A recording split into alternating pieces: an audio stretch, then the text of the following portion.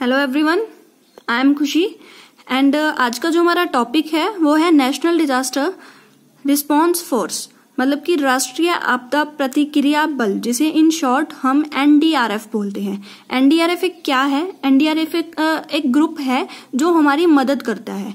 और जो ये बल है वो एक स्पेशल फोर्स है जो कि बनाई गई है गठित की गई है आपदा प्रबंधन अधिनियम 2005 आपदा प्रबंधन अधिनियम 2005 से रिलेटेड हम एक वीडियो पहले ही अपलोड कर चुके हैं और इसके तहत आप जो घटना खतरनाक आपदा होती है आपदा की जो स्थिति आती है और आपदा के जो विशेषज्ञ हैं, इस, की प्रतिक्रिया के उद्देश्य से किया गया है।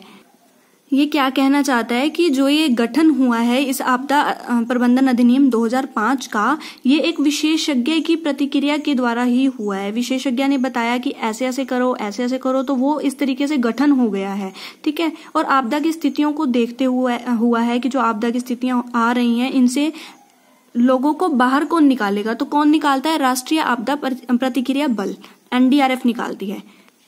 इसके अंतर्गत क्या हुआ है? एक अपेक्स बॉडी बनाई गई है। Section forty five and forty four and forty five के अंदर आपदा को प्रबंधन करने के लिए एनडीएमए के नाम से मतलब कि जो नेशनल डिजास्टर मैनेजमेंट अथॉरिटी राष्ट्रीय आपदा प्रबंधन अधिकरण के अंदर भारत में एक अपेक्स बॉडी बनाई गई है।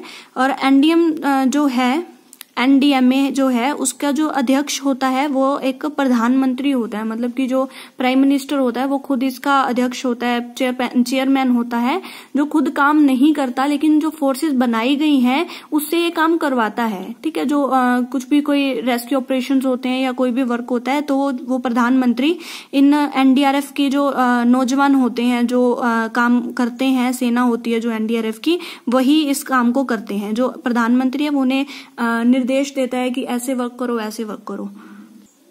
तो इसमें कह रहे हैं कि जब भी कोई आपदा आती है, कोई भी प्राकृतिक आपदा आती है, जो कि बहुत ज़्यादा गंभीर होती है, जिससे बहुत ज़्यादा नुकसान होता है तो केंद्र सरकार सशस्त्र बलों द्वारा केंद्रीय अर्धसैनिक बलों द्वारा राष्ट्रीय आपदा प्रतिक्रिया बल के द्वारा जो कि एनडीआरएफ आप पढ़ रहे हैं तो उसमें क्या होता है कि ये सहायता करने के लिए जिम्मेवार होते हैं। जितने भी बल कहे गए हैं जितने भी फोर्सेस हैं वो हमें सहायता प्रदान करेंगी। और ये आ, संचार हवा व अन्य परिसंपत्तियों जैसे कि उपलब्ध है और आवश्यक है। जो भी उपलब्ध होती हैं और जो नेसेसरी होती हैं कि प्रोवाइड करवाना तो उसमें वो हमारी हेल्प करते हैं। एनडीआरएफ में क्या होता है, जो एनडीआरएफ का जो हेड होता है, जो प्रमुख होता है, वो महानिर्देशक, जो कि डायरेक्शन देता है, वो महानिर्देशक के रूप में उसको कहा जाता है, उसे महानिर्देशक बोलते हैं। और जो एनडीआरएफ के जो निर्देशक जनरल होते हैं, जो डायरेक्टर जनरल होते हैं, वो पुलिस, जो भारतीय पुलिस के संगठन है, उसके आईपीएस अधिकारी होते हैं। ठीक है? और महानिदेशक सेना में तीन सितारा जनरल की रैंक की वर्दी और बज पहनते हैं। मतलब कि जो उसके महानिर्देशक होते हैं, जिसके बारे में हम हेड के बारे में बात कर रहे हैं तो वो जो होता है, वो थ्री स्टार जर्नल रैंक की जो ड्रेस होती है, वो पहनते हैं और एक बज भी पहनते हैं। इसकी रचना कैसे की गई है?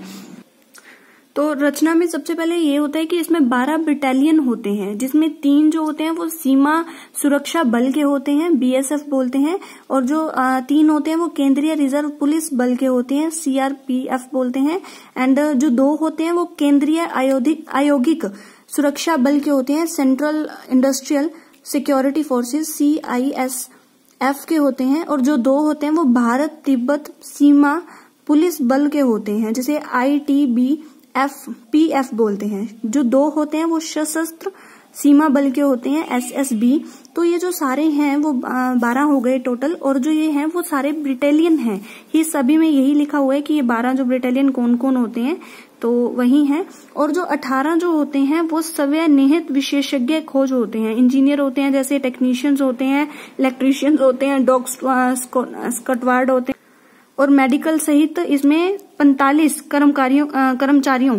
कर्मियों जो कर्मचारी कर्मचारी होते हैं उस आ, का की बचाव टीमों को प्रदान करने में सक्षम है। तो ये अठारह होते हैं और जो पैंतालीस अन्य कर्मचारी होते हैं इसमें। इसमें नेक्स्ट जैसे कि चार्ट के थ्रू कह रखे है कि जो एनडीआरएफ की फोर्सेस होती हैं वो असम में हैं और बीएसएफ का होता है सीपीएफ एंड इसमें एनडीआरएफ की सारी इकाइयाँ बताई गई हैं और ये किस किस एरिया में किस किस तरह की बिटालियन जो हमने बिटालियन ऊपर बात की थी कि कितने कितने होते हैं जैसे कि तीन सीमा आ, सीमा सुरक्षा बल थे दो केंद्रीय रिज़र्व पुलिस बल थे दो भारत तिब्बत बल के थे तो वही हम कर रहे हैं कि इसमें आ, जो भी किन किन जगहों पर किन किन जगहों पर कौन कौन सी इकाइयाँ लगी हैं और क्या क्या सीपीएफ हैं इसके। ठीक है तो गुवाहाटी में है जो कि बीएसएफ है। बीएसएफ मतलब जो हमारा बोर्ड सिक्योरिटी फोर्स मतलब सीमा सुरक्षा बल जो था वो बीएसएफ एंड उसके बाद कलकत्ता में भी बीएसएफ है और कटक और अरकोनम में सी आई एस एफ़ है। ऐसे ये सारी आपको दे रखी है। आप एक बार स्टडी कर लीजिए इसको। और नेक्स्ट जो है वो ये है। ये अगर आप टोटल इसको करोगे, ये चार और ये जितने सात आठ ये दे रखे हैं तो ये टोटल ट्वेल्व ही हैं। ठीक है? नेक्स्ट जो हम करते हैं वो है कि एनडीआरएफ की भूमिका क्या है या जनादेश क्या है? नेक्स्ट क्या है कि जो फ़र्स्ट कहता है इसका कि आपदाओं के दौरान विशेष प्रतिक्रिया। जब भी कोई आपदा होती है तो वो स्पेशल कुछ विशेष टाइप की रिस्पॉन्स देते हैं, कुछ नेसेसरी एंड ज़रूरी जो रिस्पॉन्स होता है वो देते हैं, जो एनडीआरएफ की टीम होती है।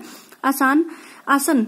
आपदा स्थितियों के दौरान सक्रिय तैनाती, बहुत सक्रिय तैनाती होती है कि जिसको जो काम सही करना आता है, उसे वही काम दिया जाता है, सक्रिय तैनाती कर देते हैं। और किसको तैनात करना है, कितना काम करेगा, कहाँ किस किस एरिया तक वो लिमिटेड होगा पर्सन जिस पर्सन को तैनात किया जाएगा, वो सही काम कर रहा है, नहीं कर रहा है, सही टाइम पर जो एनडीआरएफ की जो फोर्सेज हैं, वो पहुँची हैं या नहीं पहुँची हैं तो वो सारा कुछ उसकी भूमिका और जनादेश में आता है। नेक्स्ट क्या कहते हैं कि लगातार अपने सव्य के प्रशिक्षण और कौशल का उन्नयन करें। मतलब कि उनकी जो ट्रेनिंग है या स्किल है, उसको वो बढ़ाएँ वो उनको डेवलप्ड करें और उसके बाद लाइजेंड टॉय एंड रिहर्सल करते रहे मॉक ड्रिल मॉक ड्रिल भी वही होता है कि रिहर्सल करते रहे। वो इस तरीके से रिहर्सल करें कि uh, उन उनके सामने एक ऐसी सिचुएशन क्रिएट कर दी जाए एनडीआरएफ के जो जवान होते हैं उनके सामने कि अगर कहीं फॉर एग्जांपल आग लग गई है तो आग लग गई तो कैसे वो लोग उन लोगों को बचाएँगे जो लोग उसमें फंसे हुए हैं? तो मॉक ड्रिल मतलब कि रियल में एक्सपेरिमेंट करके दिखाते हैं। राज्य प्रतिक्रिया जो बल होती है के लिए बुनियादी संचालन स्तर पर जो प्रशिक्षण भी देना चाहिए, उन्हें ट्रेनिंग देनी चाहिए। और कम्युनिटी को जागरूक करना है। वो सारी काम जो है एनडीआरएफ के जवान करते हैं, ठीक है? एनडीआरएफ के जवान लोगों को समझाते हैं कि अगर आपदा आ गई तो आपको किस तरीके से वहाँ से बाहर निकलना है, कैसे उस चीज़ से निकलना है, कैसे अपने आप को बचाना है, कैसे आप उन आपदाओं से आपदाओं से होने वाले नुकसान को कम कर सकते हो। ये सारी चीज़ें जो होती हैं वो एनडीआरएफ के जवान जो होते हैं वहाँ के लोकल कम्युनिटी को समझाते हैं। उन्हें भी प्रशिक्षण करते हैं। Thank you so much for listening me very carefully ये दोनों ही टॉपिक्स जो थे नेशनल डिजास्टर रिस्पॉन्स फोर्स और सीबीडीएम एनडीआरएफ एंड सीबीडीएम दोनों ही थोड़े टिपिकल टाइप्स के क्वेश्चंस हैं लेकिन ये बहुत ही इंपॉर्टेंट है एग्ज़ाम के पॉइंट ऑफ़ व्यू से। तो ज़रूर इस वीडियो को थोड़ा एक बार रिवर्स करके दोबारा सुन लीजिए अगर आपको समझ नहीं आया है। एंड लाइक माय वीडियो अगर आपको पसंद आई है and subscribe my channel don't forget to share this video with your friends and साथ ही साथ अगर आपको कोई प्रॉब्लम है कोई डाउट है तो आप क्वेश्चन करके पूछ सकते हैं। और uh, कोई भी क्वायरी रहती है तो पूछ लीजिए। Thank you so much